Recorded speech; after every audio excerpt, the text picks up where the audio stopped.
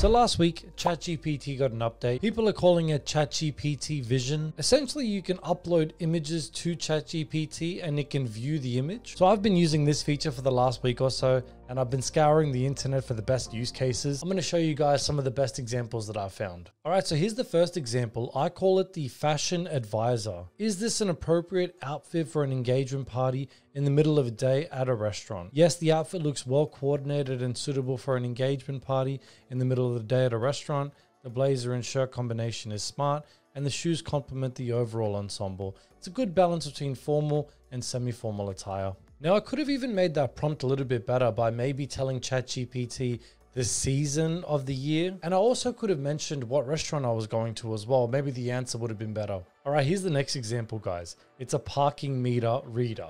In my city, the parking meters or the signs, I don't know, they get kind of confusing and as you can see there. So rather than me trying to figure it out for like two minutes, I just uploaded the photo. How long can I park here? It's Sunday, 12 14 p.m. On Sundays, according to the sign, you can park for up to four hours without needing a ticket. I didn't double check if ChatGPT was right, but I didn't get a parking fine, so it worked out. Moving on, ChatGPT now can act as your personal chef. So I uploaded the photo of this dish. I actually thought this was a Australian thing, but it's actually a traditional British dish. So all you have to do is just upload the photo and just say, provide me a recipe and instructions on how to cook this dish. And yeah, it's pretty much given you all of the ingredients and it's given all of the instructions as well on how to actually cook it. Okay, so this next one's funny. If you can't think of the specific dish that you're after, take a photo of your fridge and ask ChatGPT to provide you three different recipes. So provide me three recipes from these ingredients and you can see there guys, this is the photo of my fridge, nothing crazy, nothing fancy. The three recipes that it thought of was vegetable stir fry and sweet and sour sauce. And I'll just read to you guys what it says here. Various fresh vegetables, looks like you have bell peppers, tomatoes, and possibly other veggies. Sweet and sour sauce and available protein, tofu, chicken, beef, soy sauce, and garlic.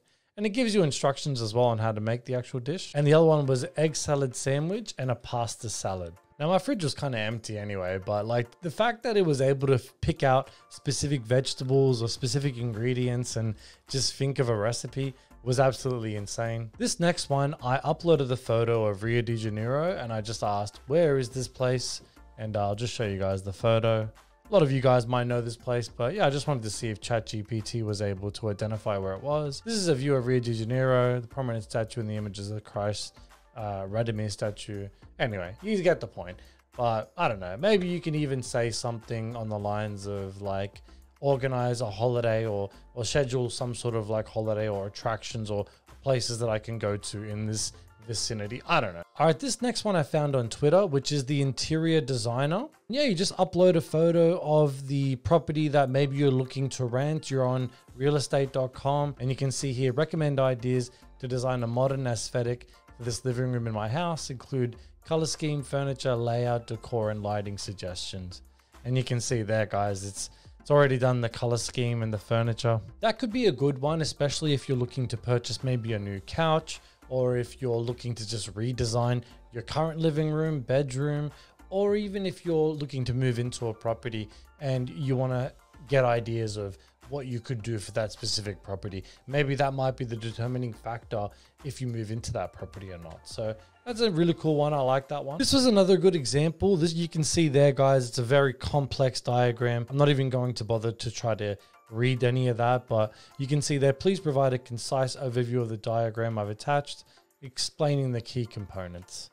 And you can see there it's breaking down everything in the diagram. This doesn't come up in my day-to-day life, but it may be good for you depending on your profession, uh, or maybe you're a student, uh, or maybe you're a professor. I, I, don't know, but I'm sure it will come up from time to time. Regardless, though, the fact that it was able to just read that diagram and just break down everything for you. I think it's cool. This next one's actually for content creators. Funny enough, I showed ChatGPT my thumbnail and I asked it what it thought of the thumbnail. And it gave me some feedback, which was good. So I'm going to start doing that from now on. I'm going to upload my thumbnails uh, and it will give me feedback. It will tell me if it's good or not. This one I had to do. I don't know. I don't know if you guys know what that S is. To explain it for people that don't know what it is, back at school, Um, everyone used to just draw this S. You're sitting in class, you're bored, and you just draw this S. But it was just funny because it knew what the S was. I don't know, just an example. This next one is really cool. This guy, pretty much what he did is he uploaded an actual website and it said recreate this user interface with incredible details. Do not skip anything. Write all code in one HTML file and use Tailwind. I don't look. I don't know what that is, but from what I'm saying, well, from what I'm understanding, is he's uploading a photo of a specific website and he's asking ChatGPT to write the actual code. And I think on the right, I don't know if that's Python. I'm, I'm sure it's some sort of programming software. But he's gonna. He's look at this. He's pretty much just gonna grab the code, provide it, and I'm pretty sure it's just gonna run it for him straight away. All right, so he's copying the code, he's pasting it, he's clicking run, and you can see right there, it's, I mean, it's gent, look, it's created this website. From what I, it looked very similar to what he did at the start. So Cool example. This one's interesting for people that go to the gym. I just grabbed this generic photo of this lady doing a squat. I asked her to rate the form. Yeah, the individual in the image is performing a squat. It actually said good feedback. Now, this one's kind of weird. I don't know, because most of the time you're going to do a video when you're recording yourself doing the exercise, but maybe you could just screenshot it at the part where you've uh, completely done the squat, provide it to ChatGPT, and it can give you feedback for your squat form. This one's also cool. I uploaded a photo of a squat rack and I said, how do I use this machine and how much weight should I add? I weigh about 76 kilos and it's my first time using this machine. I'm new to the gym. Remember context, guys. As much context as possible, you'll be able to define and give you the best sort of answer that's tailored for you. It just says, yeah, the machine, the image is a squat rack. Uh, the basic guidelines, yep, adjusting, safety bars, starter. You get the point, guys. But Another cool example. This is another example I found on Twitter. Um, I don't know, maybe sometimes you'll get a letter from your grandfather, the written or grandmother, and it just says here transcribe and interpret this old letter, explaining any unclear handwriting or obscure language. And it can sort of pick up uh, the the text uh, of what's being written down. So I don't know, that might come in handy. You never know. Your grandmother or grandfather might send you a letter. You may not be sure what it says. All right, last one. This is another example on Twitter. Identify this animal in the photo, explain what species it is, if it is venomous or dangerous, and provide any other useful details about its characteristics and behavior. And you can see there, guys, it's a snake.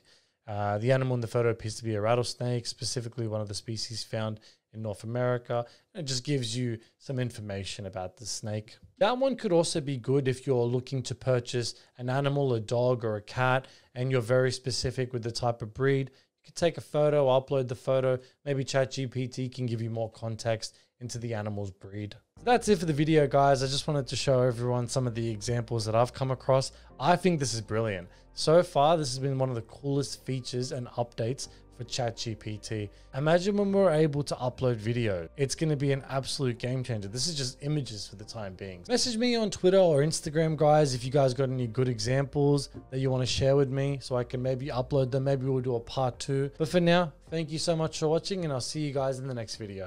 Peace.